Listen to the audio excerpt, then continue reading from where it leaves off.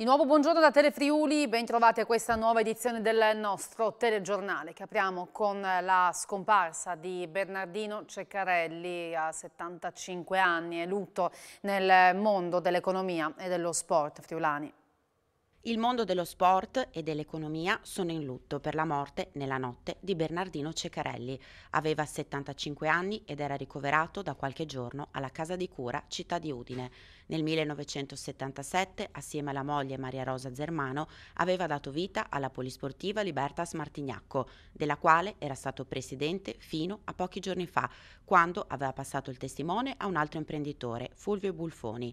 Grande la soddisfazione per i risultati conseguiti negli anni, fino alla storica promozione in A2 nel 2017-2018. Dopo aver mosso i primi passi nel settore come fattorino, nel 1979 aveva dato vita alla Ceccarelli Group, azienda leader nell'autotrasporto nazionale e internazionale, cresciuta mettendo al centro il rispetto e l'onestà, due dei tratti caratterizzanti del suo fondatore, una realtà attenta all'ambiente e al territorio che della responsabilità sociale ha fatto un valore quotidiano. Come amministratore pubblico aveva ricoperto per molte legislature incarichi nel suo comune d'origine e di residenza Martignacco, ma anche numerosi ruoli nell'ambito delle attività economiche e della rappresentanza delle PMI, dalla guida del CATAS a Confapi FVG, associazione di cui era stato anche presidente della categoria trasportatori. Cavaliere ufficiale della Repubblica Italiana e stella di bronzo del CONI, dal 2012 era stato anche eletto presidente della Libertas regionale. 40 anni di attività festeggiati nel 2019, in quell'occasione ci aveva raccontato come era nata la sua azienda. Eh, aprile del 79 io ero dipendente, dovevo decidere se tornare a fare dipendente da un'azienda di sempre trasporti che mi aveva cercato oppure provare l'avventura di mettermi in proprio. Ho, ho optato per questa seconda soluzione, è andata bene, diciamo con le fatiche anche gli alti e bassi per l'amor di Dio in questi 40 anni, però diciamo sono stati 40 anni eh, belli all'inizio, molto concreti perché eh, in quegli anni là era proprio la voglia di, di, di, di lavorare, la voglia di costruire, la voglia di inventare, poi c'è stata la crisi degli anni 80 però poi dopo l'85 è tornato a riprendere un po' il mercato e così alti e bassi, poi abbiamo superato la crisi più lunga di questo secondo secolo del 2008, sono stati dieci anni lunghi, però in questi dieci anni di crisi noi siamo raddoppiati, oggi 168 dipendenti.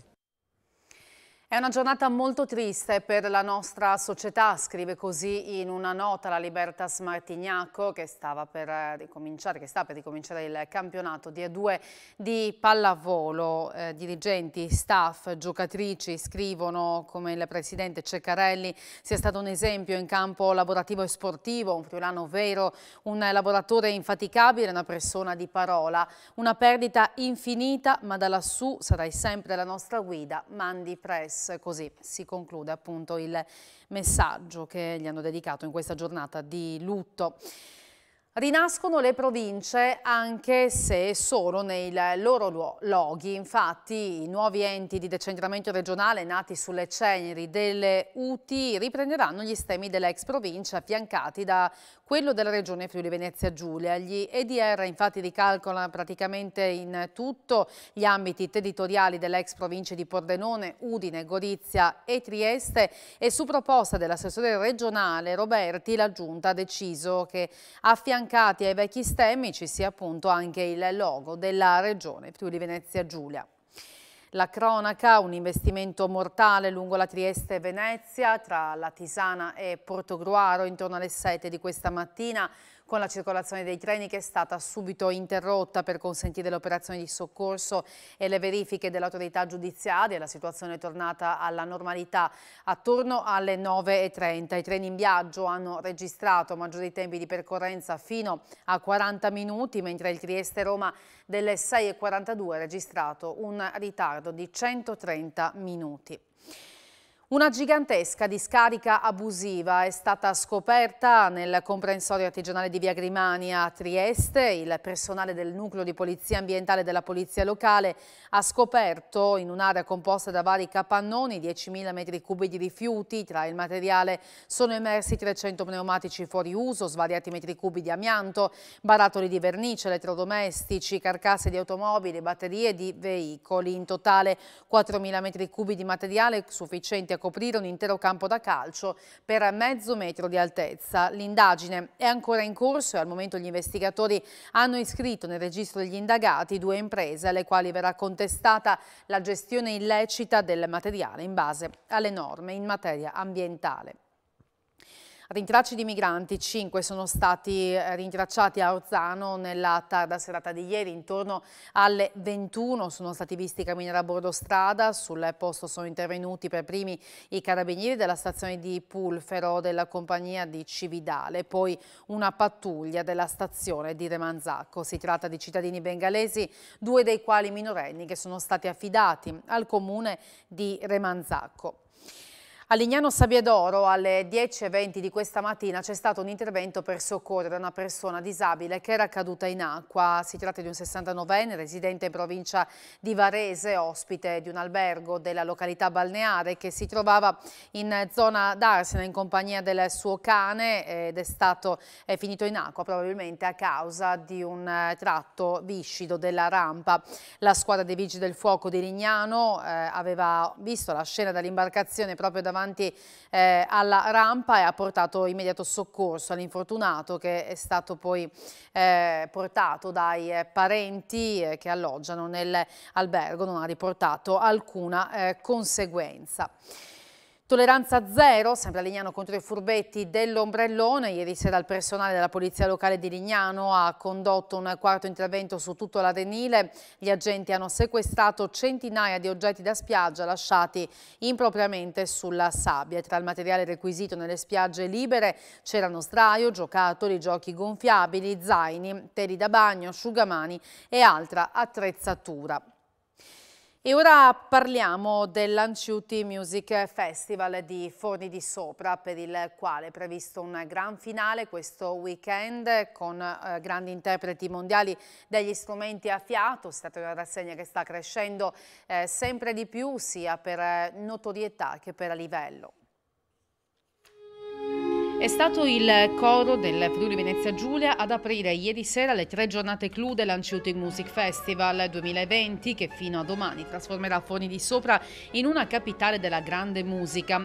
Dopo il grande successo del ciclo dei concerti al tramonto che hanno valorizzato i borghi del comune montano, la rassegna sta vivendo il culmine con la sezione più specificamente incentrata sugli strumenti a fiato, l'obo e il fagotto, nella cui realizzazione fu maestro ineguagliabile Giovanni Maria Anciuti. L'evento si sta consolidando e gode di un'attenzione sempre maggiore sia da parte degli addetti ai lavori che del pubblico in genere, nonché delle istituzioni, ha commentato il direttore artistico del festival Primo Oboe all'Orchestra dell'Accademia Nazionale di Santa Cecilia di Roma, Paolo Pollastri, sottolineando che la rassegna è una delle pochissime dedicate a costruttori di strumenti in epoche antiche. Oggi dalle 20.45 nella chiesa di Santa Maria Assunta un viaggio sonoro che spazierà da Aquileia alla Serenissima in collaborazione con Carni Armonie. Gran finale domani con un doppio appuntamento a Ciasa dei Fornes nella frazione di Cella alle 18 il concerto conclusivo degli allievi di Anciuti Academy che eseguiranno quartetti per oboe e fagotto con l'accompagnamento del trio d'archi dell'Anciuti Festival Ensemble. Alle 20.45 la scena sarà invece per i docenti dell'Academy che si alterneranno all'OBB Basson Cluster tra i quartetti di fagotti più importanti al mondo.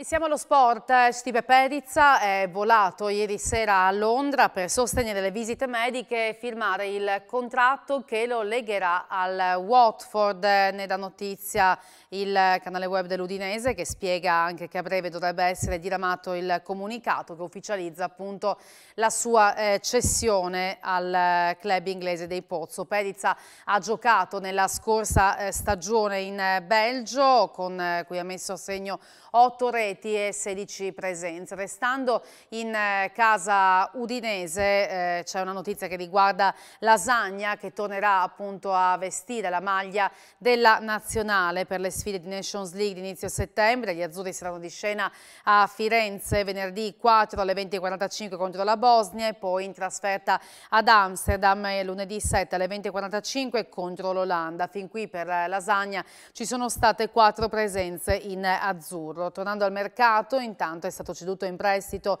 con obbligo di riscatto Nicolao Pocu all'Amiens Sporting Club eh, Football. Eh, a lui va in bocca al lupo da parte del club per la sua nuova esperienza, così nella eh, nota della società che ha appunto ufficializzato l'operazione. Dilettanti, disaccordi e polemiche, anche se la data è fissata, il Presidente Canciani pare removibile, c'è chi non ha apprezzato le modalità del sondaggio con le società e crede che non ci siano le condizioni per partire.